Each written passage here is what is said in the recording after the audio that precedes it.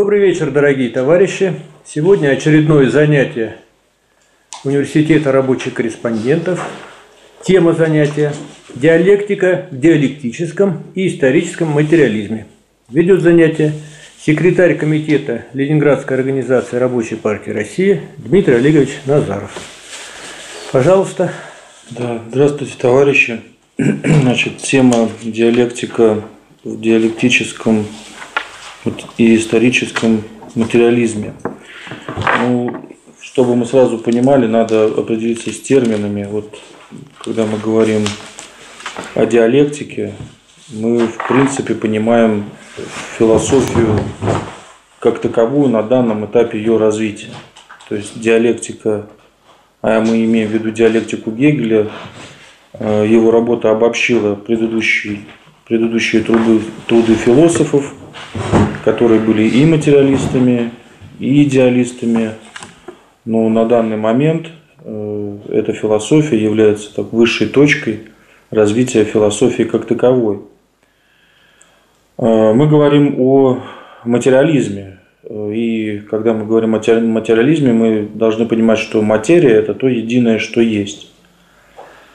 Э, а материализм э, имеет своей предпосылкой то, что материя первична, а сознание – это свойство высоко организованной материи.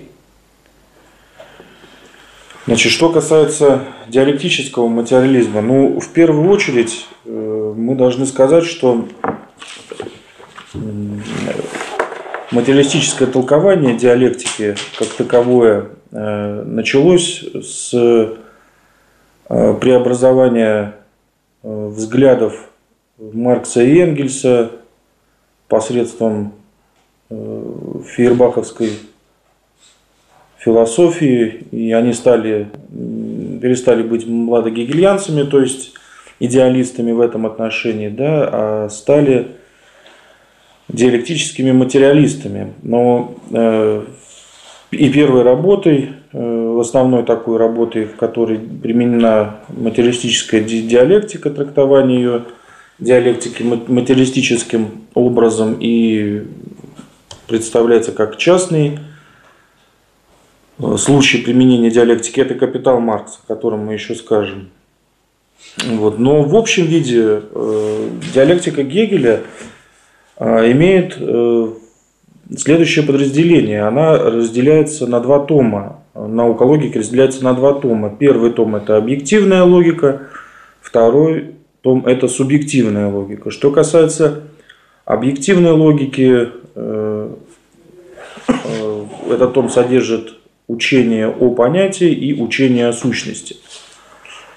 А, когда мы говорим, прошу прощения, учение о бытие учение о сущности, когда мы говорим об учении о бытии учении о сущности, об объективной логике, там материалистического преобразования как такового не надо, если учитывать то, что мы понимаем бытие как материю. То есть то единое, что есть. Когда мы начинаем изучать науку логики, Э, начинаем мы, как всегда, с начала. И надо понимать, что начало – это неразвитый результат. И результат, который мы получаем э, впоследствии, есть развернутое начало. Так вот, начало науки логики, да и начало любой философии э, – это бытие. То есть Э, то, с чего необходимо начать, и как бы вы не хотели начинать с чего-то другого, ничего другого не получится, потому что если вы возьмете там любой предмет, первое, что вы скажете о нем, то, что он есть. Таким образом, э, начало, хотя Гегель и говорит о том, что э, любое, любая категория не может быть непосредственной, она должна быть еще и опосредствована, но тем не менее для построения системы, а э, мы говорим о науке логики как о системе и о капитале как о системе, э, в данном случае системе противоречий капиталистического способа производства. Когда мы говорим о диалектике Гегеля, э, мы понимаем, что из бытия вырастают все дальнейшие категории, и с этого начинаем. э, что можно сказать о бытие, кроме того, что оно есть? Больше ничего. Или если мы э, задаем вопрос, что мы можем еще, можем ли мы сказать что-нибудь еще, кроме того, что оно есть, мы говорим нет. Раз мы говорим ничего и говорим нет, то мы приходим к ничто и рассматриваем категорию ничто. Поскольку мы рассматриваем категорию ничто, мы говорим Первое, что мы можем сказать, да и вообще любой категории, которую мы возьмем о том, что она есть, соответственно, мы получаем вывод, что ничто есть, значит оно бытие. А раз оно бытие, то получается движение э, возникновения, э, движение исчезновения бытия в ничто, а ничто в бытии.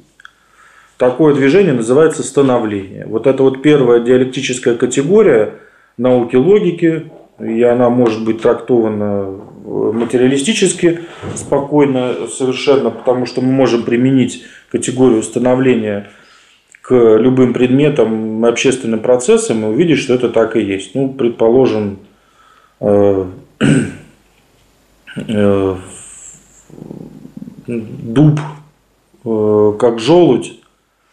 Но желудь – это дуб, но дуб в становлении. А, но в то же самое время можно сказать, что в его становлении есть частичка прихождения, то есть с той силой, которую дуб набирает, он и то же самое движется к своему окончанию. Вот мы можем становление брать э, любые примеры э, из общественной жизни тоже и видеть, как эта э, категория применяется.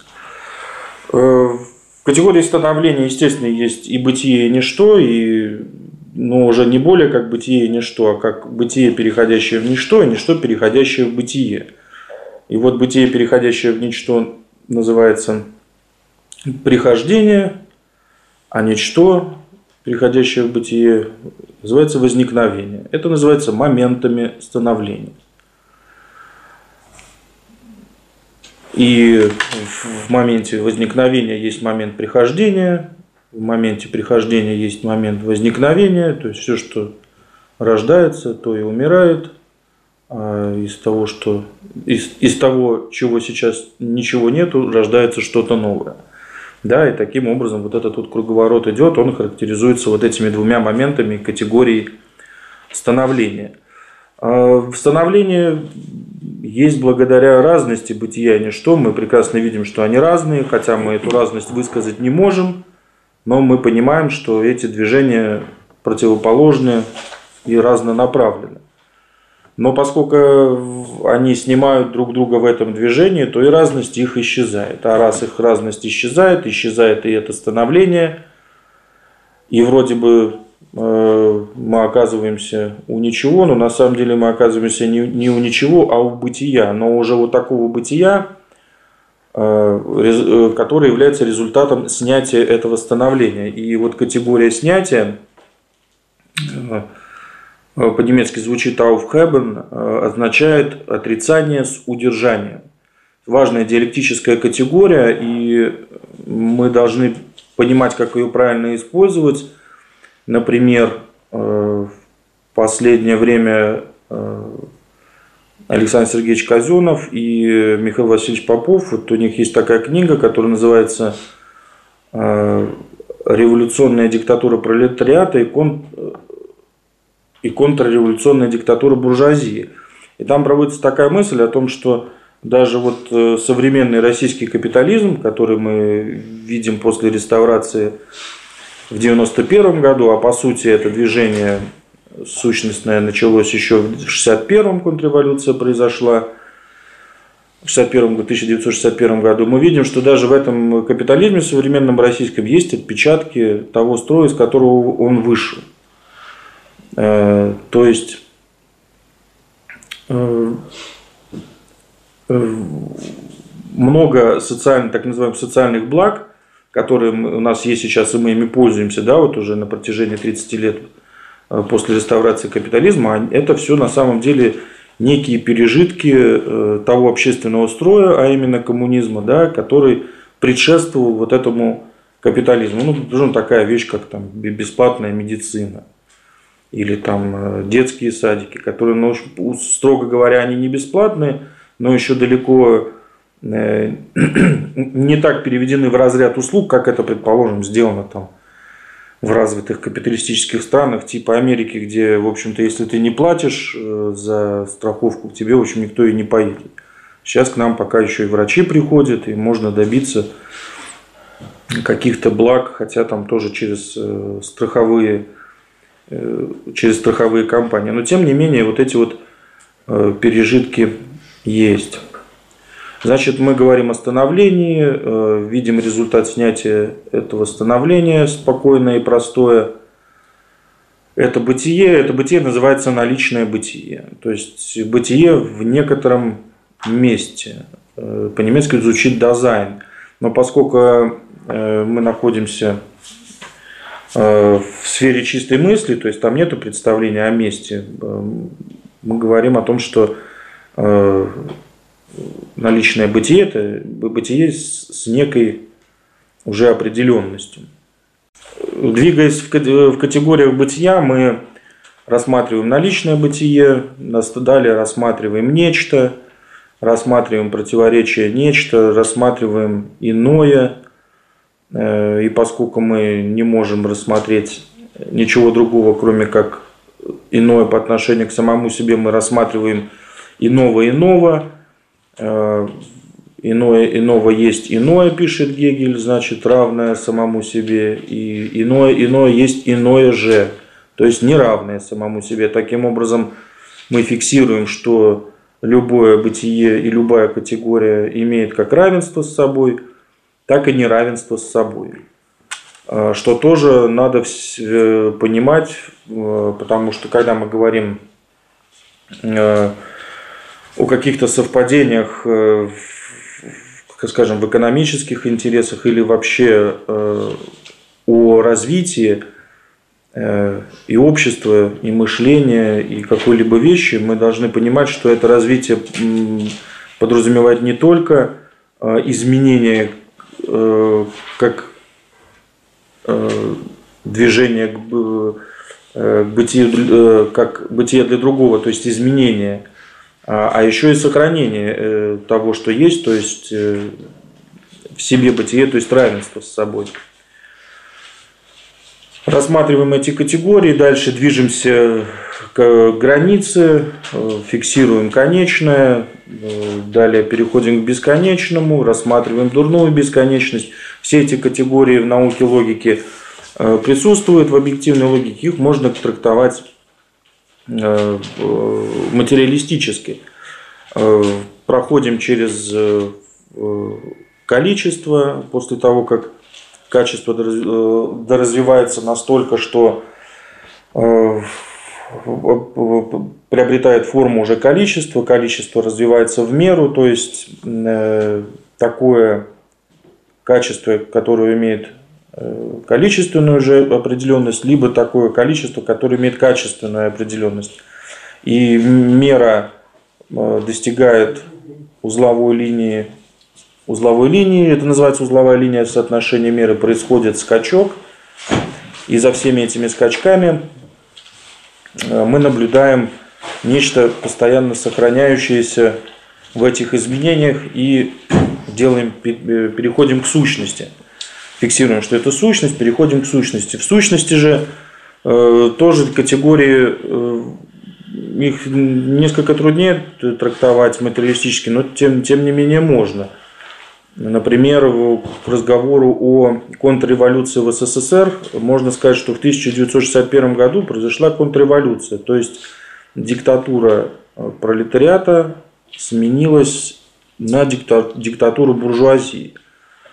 И, в общем-то, задается такой вопрос, ну, с одной стороны, понятный, но в то же самое время очень довольно-таки формальный. Ну а как так? Э, дескать, диктатура буржуазии есть, а буржуазии самой нет. Ну, действительно, класса буржуазии еще не существовало, в тот момент э, еще не было э, в уже переходном периоде от социализма к капитализму, но тем не менее выражался он в том, что собственность, которая до этого была общественная, стала э, частной собственностью э, коллективного капиталиста. То есть вот э, тех представителей номенклатуры, которые так или иначе занимали какие-то посты, имели какие-то свои мелкобуржуазные интересы и при социализме, которые вот реализовались после 1961 года. А в 1991 году Э, просто произошел, э, так сказать, юридическое оформление э, этого, этого процесса, его завершение, то есть капитализм восстановился. И спрашивают, а, собственно, ага, в чем, как, как проявляется сущность того, что вот была совершена контрреволюция. Ну вот надо напомнить, что рабочие, Э, возмутились понижением расценок, наверное, да? Э, и были выступления, по-моему, ну, в 62 году. Черкасске. Ну, в Черкасске в 62 году. Вот э, трудно представить себе, чтобы государство класса, пролетарское государство диктатуры пролетариата позволило бы себе расстрелять рабочих, которые поднялись на в общем, понятные, за понятные интересы, за которые они будут, рабочие будут подниматься и при социализме. Понятное дело, что э, при наступлении социализма там э, благая не польются там э, широкой рекой, а за, это, за это надо будет еще бороться. В том числе бороться и профсоюзными методами, и тем, как это могут делать рабочие в организованных коллективах. Вот рабочие в Новочеркасске выступили против решений, принятых КПСС, да, и э, последовал вот это вот акт расстрела рабочих. То есть э, на лицо э, проявление диктатуры буржуазии уже в 1962 году. Таких примеров много, наверное, что-то из них умалчивается, да, но отрицать то, что диктатура пролетариата сменилась диктатурой буржуазии, сложно. Вот, э, категория, э, пройдя через категории сущности, э, логика достигает действительности, то есть таких категорий, когда есть уже все условия для вступления сути дела в существование, и явления выходят на поверхность, становятся действительными – и раздел «Действительность» представляет собой такой некий переход между э, объективной логикой и субъективной логикой, которая субъективная логика начинается у Гегеля, поскольку он э, идеалист, хоть и объективный идеалист, начинается с раздела «Субъективность». Хотя даже вот в разделе э, «Действительности» И в, послед... и в последующем в разделе «Объективность», который стоит вторым во втором томе «Субъективная логика учения понятия», Гегель пишет, что э, определения первой сферы, такие как бытие, наличное бытие, конечное, бесконечное, граница, долженствование, они себя исчерпали, э, достигли э, явления, явление вступило в свое существование, существование достигло действительности, и э, следующим, э, следующей группой определений бытия, а когда мы говорим о понятии, мы должны тоже зафиксировать, что когда мы говорим о понятии, мы говорим о бытие, потому что движение идет от бытия как такового объективного э, через углубление в него как в сущность и отрицание его этим, и, и переходит в понятие как отрицание, отрицание того не, первого непосредственного объективного бытия. То есть, когда мы говорим об, о понятии, мы говорим о бытие. И он пишет, что вот э, следующая группа э, определений, которые касаются э, понятия как бытия, это объективность, механизм, Э, э, агрегат, химизм, и далее там у него уже идет некая перестановка, о которой мы сейчас говорим. И э, что касается диалектического материализма, надо сказать, что вот это важное преобразование, которое Э, здесь вот в этой аудитории представил Михаил Васильевич Попов пару лет назад и последнее время на кружке любителей гегельской диалектики э, и в частных работах товарищей это положение развивается. Вот это что касается диалектического материализма и то, как э, его надо понимать вот в современном мире, хотя надо сказать, что это далеко не все, но, скажем, э, в общих чертах это, это так. И когда мы уже говорим о понятии и рассматриваем понятие, начиная с раздела «объективность», э, мы приходим к таким понятиям, как механизм, химизм и впоследствии жизнь. И здесь э, вот этот раздел вслед за Гегелем разрабатывал Энгельс, есть у него хорошая книга, которая называется «Диалектика природы», э, в которой, в частности, в развитии, в развитии категории механизма есть такие главы, которые пишут про протяжение и отталкивание, а это э,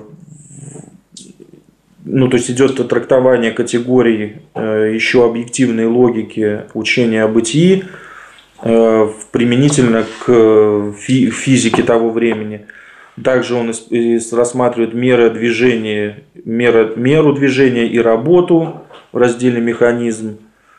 Дальше рассматривают небесную механику и астрономию, э, электричество, физику и биологию. Ну, естественно, на тех примерах, которые имеются на тот момент написания книги, понятное дело, что сейчас уже намного больше исследований, которые э, вот этот вот раздел могут дополнить. И одним из э, одной из важных э, одной из важных работ вот в этой вот диалектике природы является такая ну, почти законченная заметка, которая называется «Роль труда в процессе превращения обезьяны в человека». Значит, если говорить коротко, можно сказать вот словами Энгельса следующее. Это из э, роли труда в процессе превращения обезьяны в человека. Э, коротко говоря, животное только пользуется внешней природой и производит в ней изменения просто в силу своего присутствия. Человек же вносимым им изменением заставляет ее служить своим целям, господствует над ней. И это является последним существенным отличием человека от остальных животных – и этим отличием человек опять-таки обязан труду. То есть вот это вот слова э, Энгельса, которые можно отнести к диалектическому материализму. Э, далее э, диалектический материализм, примененный к истории, у Энгельса можно найти такие высказывания, которые находятся в работе, которая называется «Происхождение семьи, частной собственности и государства». Э, Энгельс пишет, так как, основной, так как основой цивилизации служит эксплуатация одного класса другим, то все ее развитие совершается в постоянном противоречии. Всякий шаг вперед в производстве означает одновременно шаг назад в положении угнетенного класса то есть огромного большинства. Всякое благо для одних необходимо является злом для других, всякое новое освобождение одного класса – новым угнетением для другого. Наиболее ярким примером этого, э, этого является введение машин, последствия которого теперь, большин, теперь общеизвестны. И если у варваров, как мы видели, едва можно было отличить права от обязанностей, то цивилизация даже круглому дураку разъясняет различия и противоположность между ними, предоставляя одному классу почти все права и взваливая на другой почти все обязанности. Но этого не должно быть, что хорошо для господствующего класса должно быть благом и для всего общества, которым господствующий класс себя отождествляет. Поэтому, чем дальше идет вперед цивилизация – тем больше она вынуждена набрасывать покров любви на неизбежно порождаемые ею отрицательные явления, прикрашивать их или лживо отрицать. Одним словом, вводить в практику общепринятое лицемерие, которое не было известно ни более ранним формам общества, ни даже первым ступеням цивилизации и которое, наконец, достигает высшей своей точки в утверждении. Эксплуатация угнетенного класса производится эксплуатирующим классом единственно и исключительно в интересах самого эксплуатируемого класса. И если последний этого не понимает и даже начинает восставать против этого, то это самая черная неблагодарность по отношению к благодетелям, эксплуататорам. То есть вот Энгельс пишет э, то, что мы вот иногда наблюдаем э, в современности, о том, что вот такие добрые у нас капиталисты там, организовали производство, работу дали, там, устроили 100 человек на работу, я же столько всего сделал, а вы вот еще и зарплату у меня просите. Вот скажите вообще спасибо за то, что я о вас озаботился, и что бы вы обо мне делали, говорит нам капиталист, хотя по сути э, мы видим, что угнетение для другого, что всякое освобождение одного класса является угнетением для другого. И это мы вот видим каждый день, когда нам объясняют, что мы должны быть благодарны за то, что нам предоставляют работу. Так.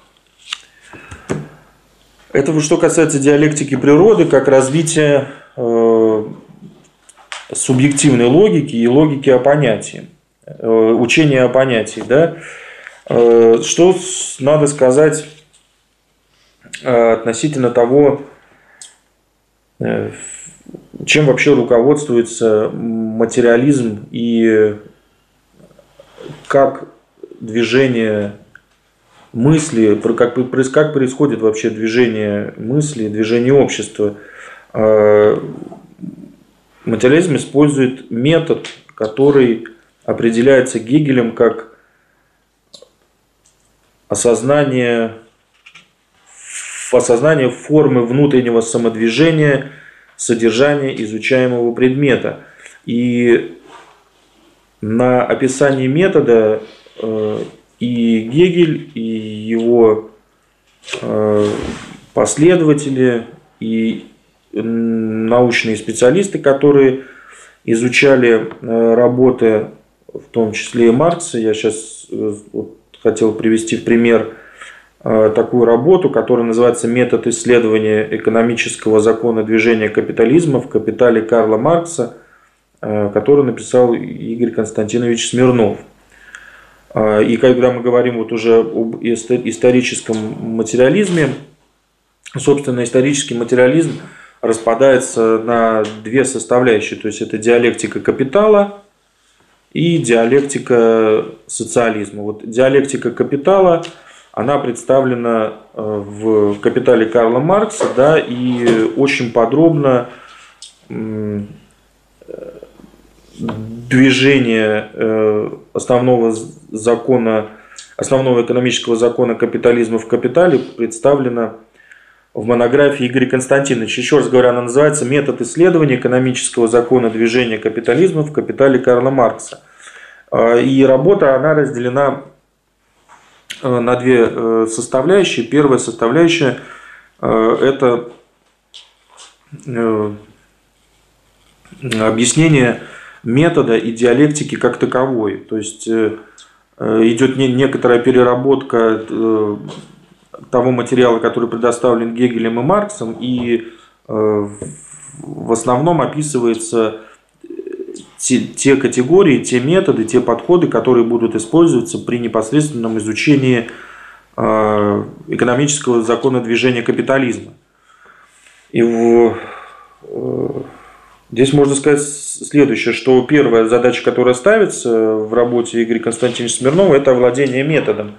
Опять-таки метод осознания формы внутреннего самодвижения, содержания изучаемого предмета. То есть для того, чтобы понять, как движется капитализм, надо проникнуть в противоречие э, этой общественно-экономической формации, раскрыть их да, и увидеть, как они движутся. То есть не взять со стороны что-то прикрутить к изучаемому предмету и пытаться там это каким-то образом толкать, а надо рассмотреть э, предмет явления в его составляющих противоречиях, вскрыть эти противоречия и э, на основе разрешения их в основании двигаться дальше. Так, что касается метода исследования экономического закона движения капитализма Карла Маркса. Значит, в настоящей работе не ставится задача рассмотрения метода исследования экономического закона движения общественной экономической формации с позиции современных достижений марксистско-ленинской диалектики. Ну, то есть надо сказать, что работа э, была написана относительно недавно, я точно не помню, наверное, 76 78 может быть, где-то вот в этих годах. Считать полстолетия назад. Ну, это относительно недавно. А, но, тем не менее, даже здесь Игорь Константинович делает ссылку на то, что надо воспринимать это, то есть эту работу на том уровне, на котором находилась марксистско-ленинская теория в тот момент. Потому что сейчас, как я уже сказал, есть материалистическое преобразование диалектики Гегеля, сделанное Михаилом Васильевичем Поповым, и которое уже развивается дальше. Предпринята попытка рассмотрения метода исследования экономического закона движения капитализма на определенном этапе развития этого способа производства и соответствующем этапе развития универсального материалистического диалектического метода. Ну, понятное дело, что если мы будем рассматривать капитализм сегодняшний, мы уже увидим, что этот капитализм монополистический, да, что мы уже э, живем в эпоху э, пролетарских революций, и империализм уже достиг своей высшей стадии, и мы видим фашизм в проявлениях во внешней политике. И этих вещей, конечно, тогда не было, никто о них не знал, ну и тем более во времена Маркса этого тоже не было, но тем не менее э, мы понимаем, что развитие оно идет постоянно, но на тот момент фиксируем, что э, попытка рассмотрения, она исходит из того, что было тогда. Да? Первым применив диалектический метод к исследованию капиталистического способа производства и соответствующих ему отношений производства и обмена, Маркс совершил революционный переворот в политической экономии. Это позволило ему разрешить те диалектические противоречия в этой науке, которые оказались непреодолимыми для его предшественников, стремившихся к объективному исследованию буржуазного общества и разоблачить псевдонаучность теории апологетов капитализма. Он показал, что абстрактные экономические законы непосредственно не объясняют действительного движения, а поверхность этого движения не являет непосредственно его сущности. Среди основных положений, выдвигаемых и обосновываемых им, можно выделить следующие. Первое.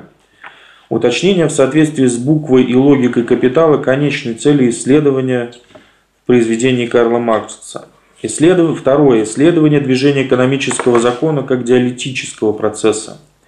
Третье. Определение основного экономического закона как закона явления основного производственного отношения и, следовательно, как самого простого из всех экономических законов системы.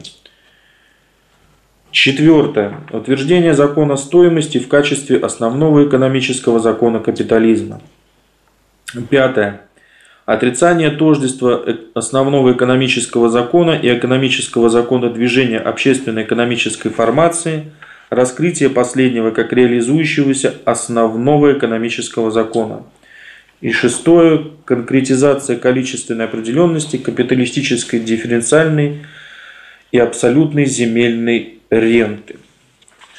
Значит, это вот содержание работы Э, содержание второй, э, второй части работы Игоря Константиновича Смирнова «Метод исследования экономического закона движения капитализма в капитале Карла Маркса». Но именно вот этот раздел э, я рассматривать не буду, ограничусь только теми вот основными положениями, потому что мы сейчас очень уйдем очень глубоко, и, э, и сложность еще в том, что книжку довольно-таки сложно достать, и мне вот пришлось даже распечатывать ее, потому что ну, ее сейчас купить ее невозможно, но я знаю, что в ближайшее время э, нашими товарищами группами «Свободное время» под руководством Марата Сергеевича Удовиченко э, в цикле книг будет это издана эта работа. вместе с работой Михаила Васильевича Попова э, «Планомерное разрешение противоречий социализма как первой фазы коммунизма», которая является диалектикой социализма и составляющей, второй составляющей исторического материализма. Значит, переходя к диалектике социализма как составляющей э, в, как составляющей исторического материализма, можно отметить вот работа э, МВ Попов «Планомерное разрешение противоречий развития социализма как первой фазы коммунизма». Мне вот довелось эту книжку найти. Э, их тоже я знаю мало, но я знаю, что оно в, там, в издании в одном уже э, рядом с книгой Игоря Константиновича издано. И в свое время оно раздав... и так и издавалось, как она звучала, как диалектика капитализма и социализма, если не ошибаюсь, было такое издание. Сейчас идет э, занятие кружка любителей гегельской диалектики под, руководством Михаила Васильевича Попова, который, собственно говоря, вот эти противоречия, э, о которых он говорит в, своем, в своей работе и планомерном их разрешении, рассказывает. И это очень интересная лекция, очень интересная книга. Советую ее почитать, потому что мы и, ну или не мы, но в любом случае общество достигнет э, социализма, да, это развитие неизбежно в той или иной форме, и может быть не совсем понятно когда, но обязательно произойдет, потому что это э, объективный ход движения событий и истории. И придется сталкиваться с противоречиями, которые связаны с тем, что социализм-то будет еще с родимым, ну, социализм как неразвитый коммунизм, а смысл слова социализм вообще в том, что он неразвитый. Смысл социализма в том, что это просто низшая фаза коммунизма, которая несет на себе отпечатки предыдущего строя, из которого он выходит. Значит, Михаил Васильевич отмечает следующие противоречия. Значит, первое. Противоречие между коммунистической природой социализма и отрицанием его в себе – Второе. Противоречие между непосредственно общественным характером социалистического производства и товарностью. То есть товара-то как такового при социализме нет, есть э, непосредственно общественный продукт, правильно? Да. Непосредственно общественный продукт. То есть э, этот продукт, э, он не является товаром, но элементы этой товарности то есть э, э, прежнее содержание в новых формах еще остается. И надо не путать товар с товарностью. Потому что когда мы говорим товарный поезд, мы понимаем, что при социализме это он не, он не товарный, как он, он не забит не товарами, он а, наполнен э, предметами народного потребления. Правильно? Конечно. Да, то есть, когда мы говорим товар, мы то есть, старое название применяем для новой формы. То есть, используем то содержание, которая в новой форме его уже не отражает. То есть товарность есть, а товара-то нет. Следующее противоречие между бесклассовой природой коммунизма и наличием классов в его первой фазе. Бесклассовая природа коммунизма. Понятное дело, что социализм – это коммунизм, то есть бесклассовое общество. И наличием классов в его первой фазе. Ну, понятное дело, классы-то есть еще сохраняются, да, классовость в обществе. Хотя природа его бесклассовая. Ну, пролетариат есть? Есть. Следующее противоречие между планомерным характером социалистического воспроизводства и элементами стихийности в его организации. Ну, понятное противоречие, да, что для того, чтобы, чтобы реализовать цель программы, надо э, настроить социалистическое производство и воспроизводство, да, но сделать это в первой фазе коммунизма при социализме невозможно, поскольку существует все, вся, всякая, всякая существует некая стихийность. Э, стихийность это опять-таки порождается тем, что не все отрасли хозяйства еще э, развиваются планомерно, и есть это противоречие между планомерностью, планомерным разрешением, планомерным характером социалистического производства и элементами стихийности. Так, и следующее противоречие между социалистическим характером системы государственного планового централизованного управления, управления и элементами карьеризма, бюрократизма, ведомственности и местничество. Ну, понятно, что э, социалистическое государство управляется э, через советы, но сама государственная система страдает такими недугами, как э, э, появляется некая номенклатура да, и некий, некие бюрократы, которые э, проникают и даже не в силу там, своих, может быть, корыстных идей, а вообще в, принципе положение их таково, что они отрываются от производства, отрываются от общества, начинают решать какие-то бюрократические задачи государственные, которые вроде как они и нужны, но тем не менее, если они напрямую и непосредственно не связаны с какими-то трудовыми коллективами или не находятся под их надзором, возникает желание там, сделать что-то помедленнее, там, сходить куда-то на перерыв, там, где-то газировочки попить. Ну, в общем, такой, такой карьеризм, бюрократизм. Ну, ведомственности, месячество, это понятно. Раз я хорошо сижу на, одном, на, на этом месте, вот неплохо бы там какого-то свата, брата к себе там, пригласить, там, кем бы он ни был, хотя, в общем-то, может быть, и хороший человек.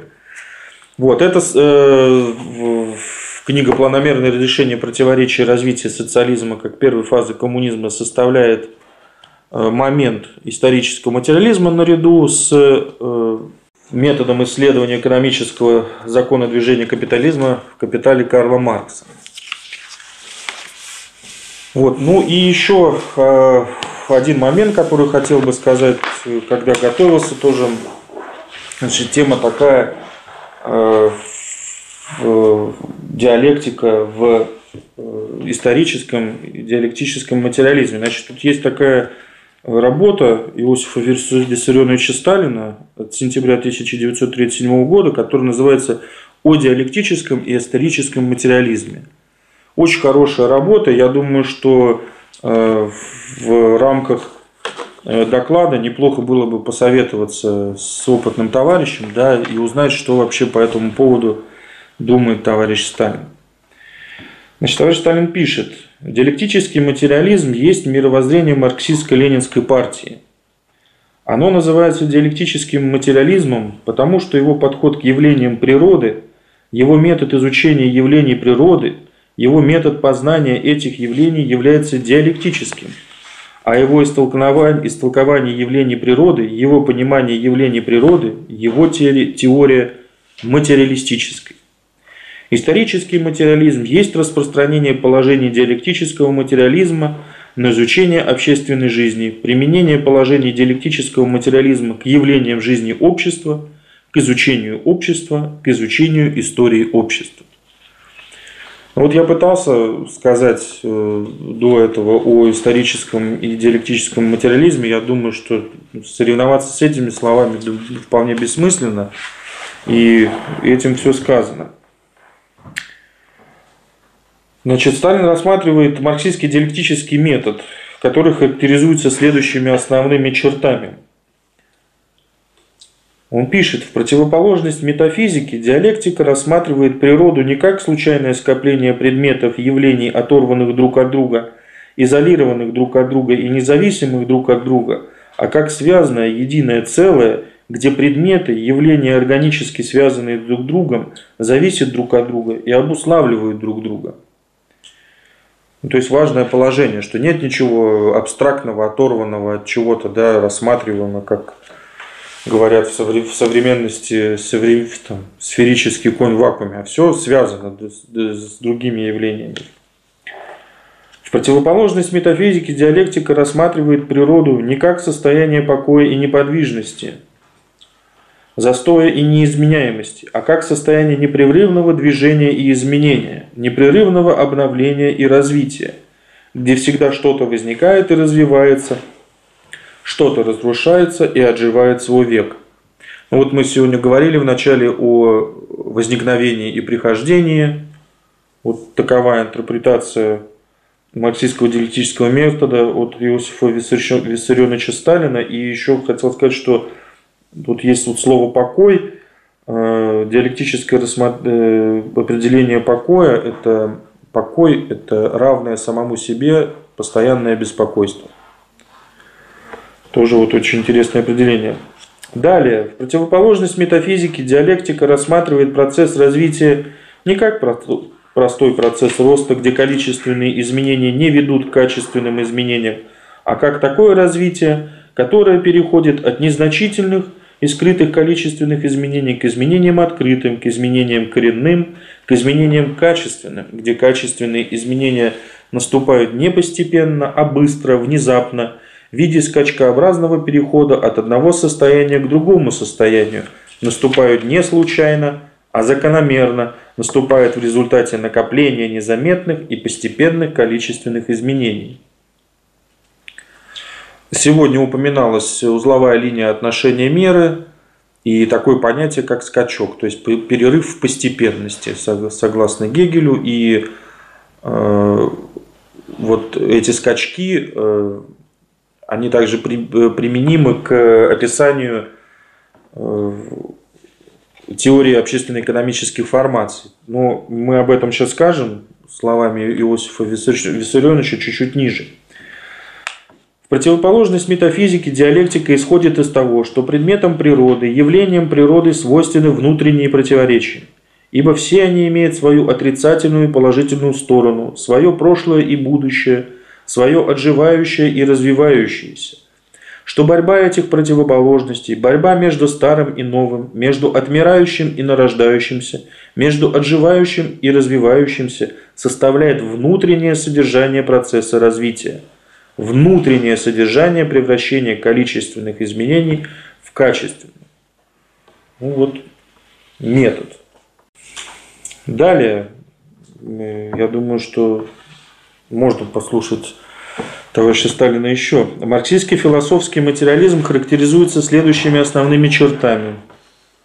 В противоположность идеализму, который считает мир воплощением абсолютной идеи мирового духа, сознания, философский материализм Маркса исходит из того, что мир по природе своей материален, что многообразные явления в мире представляют различные виды движущейся материи, что взаимная связь и взаимная обусловленность явлений – устанавливаемые диалектическим методом, представляют закономерности развития движущейся материи, что мир развивается по законам движения материи и не нуждается в никаком мировом духе. В противоположность идеализму, утверждающему, что реально существует лишь наше сознание, что материальный мир, бытие, природа существует лишь в нашем сознании, в наших ощущениях, представлениях, понятиях, Марксистский философский материализм исходит из того, что материя, природа, бытие представляет объективную реальность, существующую вне и независимо от сознания, что материя первична, так как она является источником ощущений, представлений, сознания, а сознание вторично, производно, так как оно является отображением материи, отображением бытия что мышление есть продукт материи, достигший в своем развитии высокой степени совершенства, а именно продукт мозга, а мозг – орган мышления, что нельзя поэтому отделять мышление от материи, не желая впасть в грубую ошибку.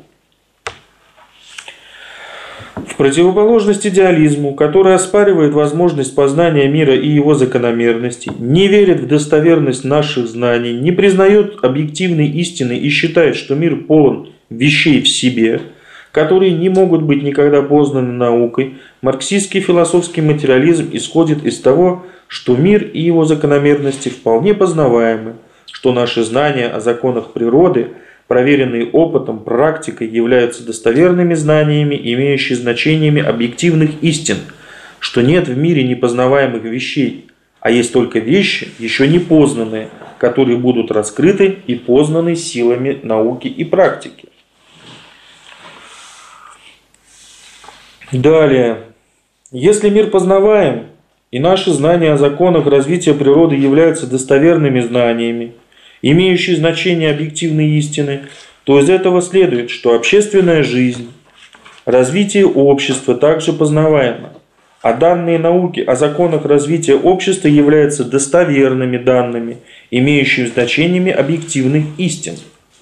Значит, наука об истории общества, несмотря на всю сложность явлений общественной жизни, может стать такой же точной наукой, как, скажем, биология. Способны использовать законы развития общества для практического применения. Значит, в своей практической деятельности партия пролетариата должна руководствоваться не какими-либо случайными мотивами, а законами развития общества, практическими выводами из этих законов. Если природа, бытие, материальный мир являются первичными, а сознание, мышление вторичными, производными – если материальный мир представляет объективную реальность, существующую независимо от сознания людей, а сознание является отображением этой объективной реальности, то из этого следует, что материальная жизнь общества, его бытие также является первичным, а его духовная жизнь вторичным, производным, что материальная жизнь общества есть объективная реальность, существующая независимо от воли людей, а духовная жизнь общества есть отражение этой объективной реальности, отражение бытия. Значит, источник формирования духовной жизни общества, источник происхождения общественных идей, общественных теорий, политических взглядов, политических учреждений нужно искать не в самих идеях, теориях, взглядах, политических учреждениях, а в условиях материальной жизни – общества в общественном бытии, отражением которой являются те идеи, теории, взгляды и тому подобное. Значит, если в различные периоды истории общества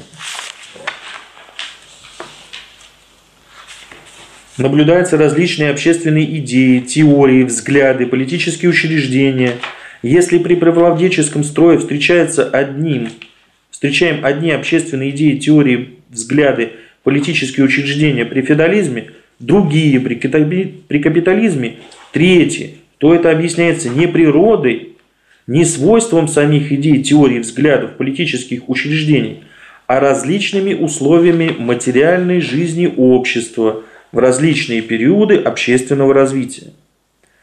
Каково бытие общества, каковы условия материальной жизни общества, таковы его идеи, теории, политические взгляды, политические учреждения. То есть общественное бытие определяет общественное сознание. Так решает исторический материализм, пишет Иосиф Виссарионович, вопрос об отношении между общественным бытием и общественным сознанием, между условиями развития материальной жизни и развитием духовной жизни общества.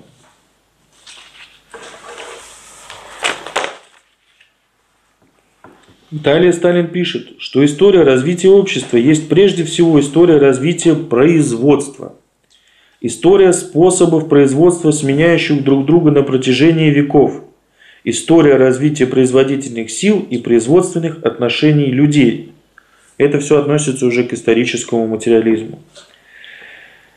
История общественного развития есть вместе с тем история самих производителей материальных благ, история трудящихся масс, являющихся основными силами производственного процесса и осуществляющих производство материальных благ, необходимых для существования общества. Значит, историческая наука, если она хочет быть действительной наукой, не может больше сводить историю общественного развития к действиям королей и полководствам, полководцев, к действиям завоевателей и покорителей государств, а должна прежде всего заняться историей производителей материальных благ, историей трудящихся масс, историей народов. Значит, ключ к изучению законов истории общества нужно искать не в головах людей, не во взглядах и идеях общества, а в способе производства, практикуемым обществом на каждый данный исторический период в экономике общества. Значит, первейшей задачей исторической науки является изучение и раскрытие законов производства, законов развития производительных сил и производственных отношений, законов экономического развития общества. А, и вот э, в краткости мы посмотрели, э, ну, по крайней мере, кинули взгляд на то, что э, законы развития общественно-экономической формации «Капитал» капитализм выполнена Карлом Марксом, да, уточнены Игорем Константиновичем Смирновым, а законы развития социализма и разрешения противоречий социализма как первой фазы коммунизма вот есть у Михаила Васильевича Попова. Законы экономического развития общества на том или ином этапе его развития.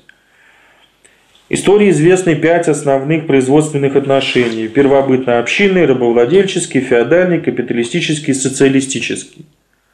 Здесь опять можно применить, э, ну, ну тут применена диалектика, да, мы и видим, что э, первобытно-общинный коммунизм сначала был самое долгое время, потом следует его отрицание, э, три э, частно-собственнических Э, экономической формации именно рабовладение, феодализм, капитализм, и как отрицание отрицания, э, отри, отрицание отрицания в частно-собственнических формаций, выше это коммунизм. При первобытно-общинном строе основой производственных отношений является общественная собственность на средства производства, при рабовладельческом строе основой производственных отношений является собственность рабовладельца на средства производства, а также на работника производства раба, которого может рабовладелец продать, купить, убить. При феодальном основой производственных отношений является собственность феодала на средства производства и неполная собственность на работника производства, крепостного, которого феодал уже не может убить, но которого он может продать или купить. При капиталистическом же строе основой, производства, основ, основой производственных отношений является капиталистическая собственность на средства производства при отсутствии собственности на работников производства, наемных рабочих, которых капиталист не может ни убить, ни продать, ибо они свободны от лишней зависимости, но которые лишены средств производства и, чтобы не умереть с голоду, вынуждены продавать свою рабочую силу капиталиста и нести на себе ермо эксплуатации. Ну вот, наверное, последнее, что э, можно сказать и что пишет в заключении э, своей работе о диалектическом историческом материализме Иосиф Виссарионович. Вот гениальная формулировка существа исторического материализма, данная Марксом в 1859 году в историческом предисловии к его знаменитой книге «Критики политической экономии». Мы понимаем, что без э, цитаты Маркса тут, в общем-то, сложно обойтись даже такому большому практику, как Сталин. В общественном производстве своей жизни люди вступают в определенные необходимые от их воли независящие отношения, производственные отношения, которые соответствуют определенной ступени развития их материальных производительных сил. Совокупность этих производственных отношений составляет экономическую структуру общества, реальный базис – на котором возвышается юридическая и политическая надстройка и которому соответствуют определенные формы общественного сознания. Способ производства материальной жизни обуславливает социальный, политический и духовный процессы жизни вообще. Не сознание людей определяет их бытие, а наоборот, их общественное бытие определяет их сознание.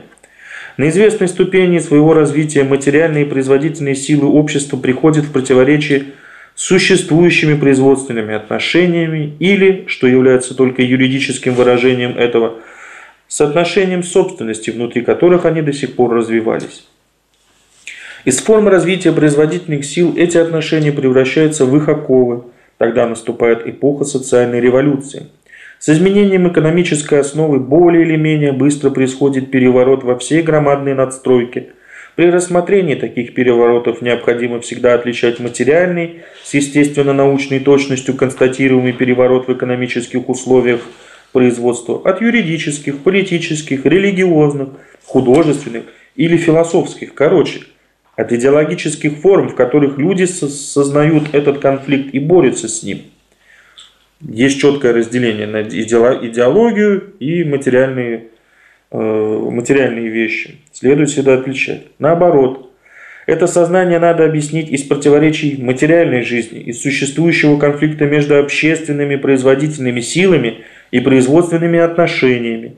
Ни одна общественная формация не погибает раньше, чем разобьются производительные силы, для которых она дает достаточно простора, и новые высшие производительные отношения никогда не появляются раньше, чем созревают материальные условия их существования в лоне самого старого общества.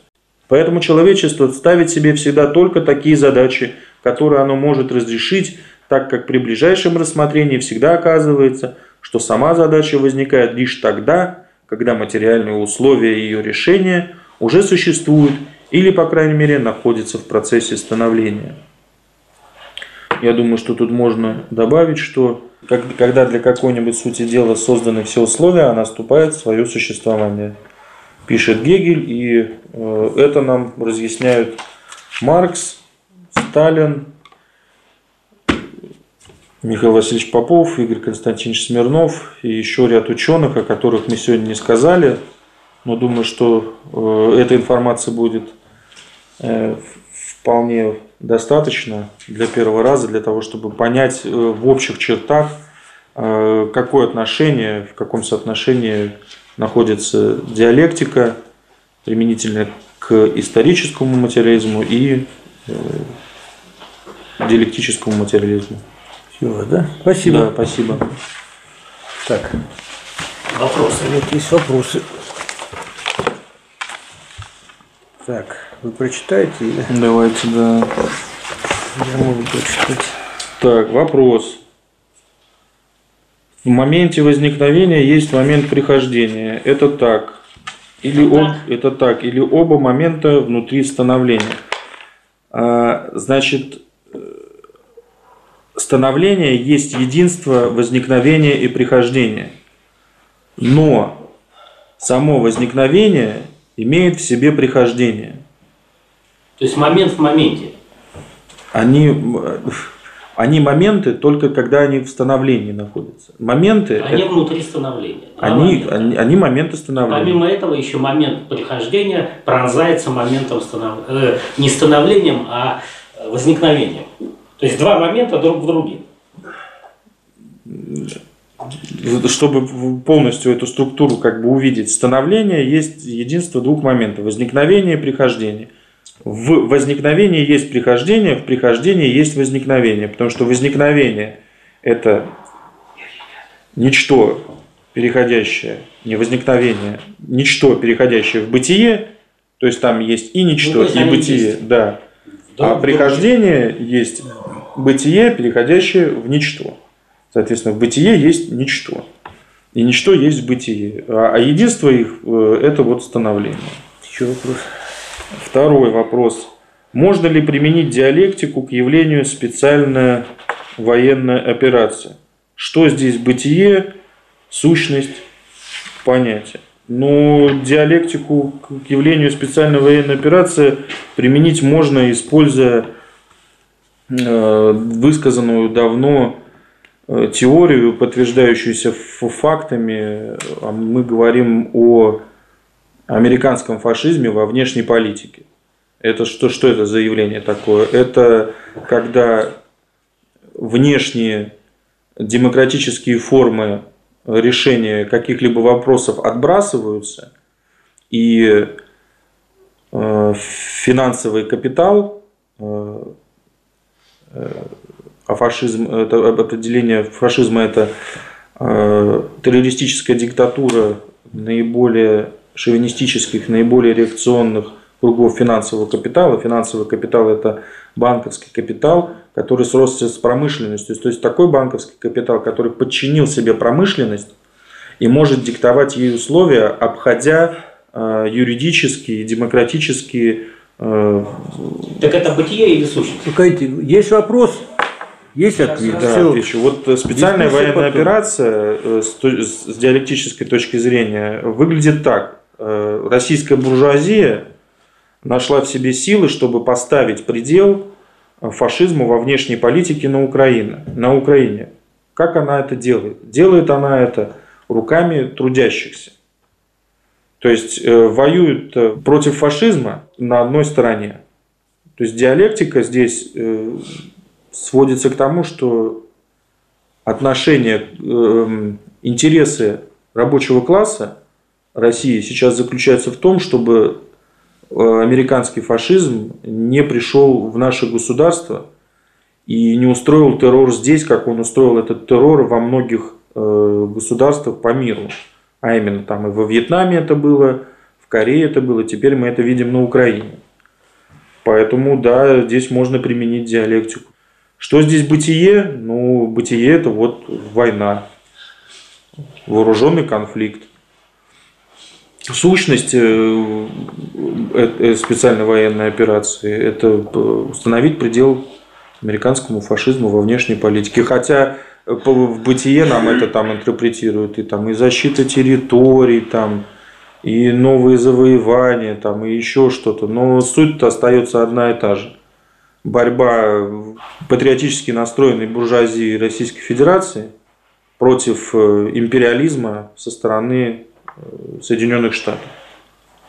Вот это надо так и понимать. Все, вопросы закончились. Вы записавшись на выступление нет. Заключительное слово. Значит, товарищи, ну, в, в заключительном слове хочу сказать, что вот я сегодня перечислил, в общем-то, те работы, которые э, могут э, на этот вопрос использования диалектики, применения диалектики в историческом, диалектическом материализме, ну вот да, вот этот список. Это в первую очередь, конечно, надо прочитать вот Сталина о диалектическом и историческом материализме. Очень тоненькая книжица, но на самом деле очень подробно и очень понятно. То есть тут как бы вопросов не возникает. Что касаемо диалектики э, социализма, Михаил Васильевич Попов «Планомерное разрешение противоречий развития социализма как первой фазы коммунизма». Это будет всегда интересно экономистам и людям, которые э, интересуются развитием общества на более высоких э, экономических формациях. «Капитал» Карла Маркса, э, происхождение семьи частной собственности и государства Фридриха Энгельса, Фридриха Энгельса «Диалектика природы», метод исследования экономического закона движения капитализма в капитале Карла Маркса Игоря Константиновича Смирнова и, естественно, как основу науку логики.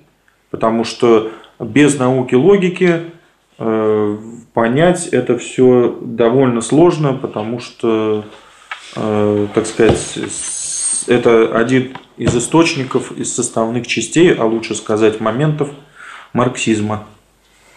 Спасибо, Спасибо. Дмитрий Олегович. Объявление. Значит, встречаемся в следующий четверг. У нас изменения в расписании. Тема занятия. Отражение СВО на Украине в нарушениях прав российских моряков иностранными государствами. Читает лекцию председатель Межрегионального профсоюза работников флота «Морской профсоюз» Юрий Викторович Курнаков. Спасибо. Встречаемся в следующий четверг. Да, спасибо.